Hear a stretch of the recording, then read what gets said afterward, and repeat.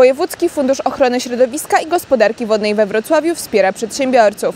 W ramach pomocy będą mogli oni liczyć na zieloną tarczę. Pandemia koronawirusa wpłynęła na całą gospodarkę. Ze względu na problemy finansowe przedsiębiorców, Wojewódzki Fundusz Ochrony Środowiska i Gospodarki Wodnej we Wrocławiu w porozumieniu z Ministerstwem Klimatu przygotował ofertę preferencyjnych pożyczek na zachowanie płynności finansowej. W związku z y, pandemią koronawirusa no, wystąpiły też y, e, problemy, jeżeli chodzi o kwestie problemy przedsiębiorstw, jednostek samorządu terytorialnego, spółek komunalnych z regulowaniem e, swoich zobowiązań, jak i też e, realizowaniem terminowym e, inwestycji.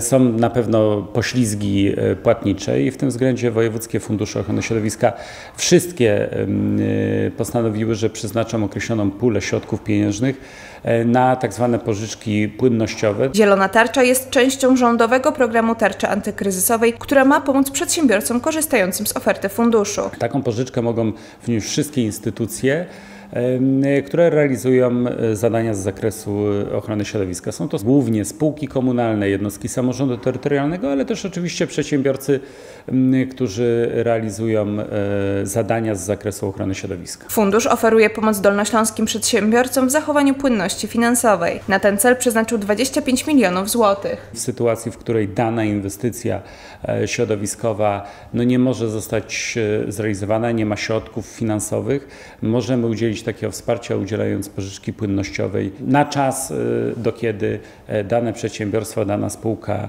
e, już e, stanie na nogi. Preferencyjne pożyczki od Wojewódzkiego Funduszu Ochrony Środowiska i Gospodarki Wodnej we Wrocławiu pozwolą przedsiębiorcom przetrwać trudny czas i utrzymać miejsce pracy. Dla Echo 24 Pola Janus.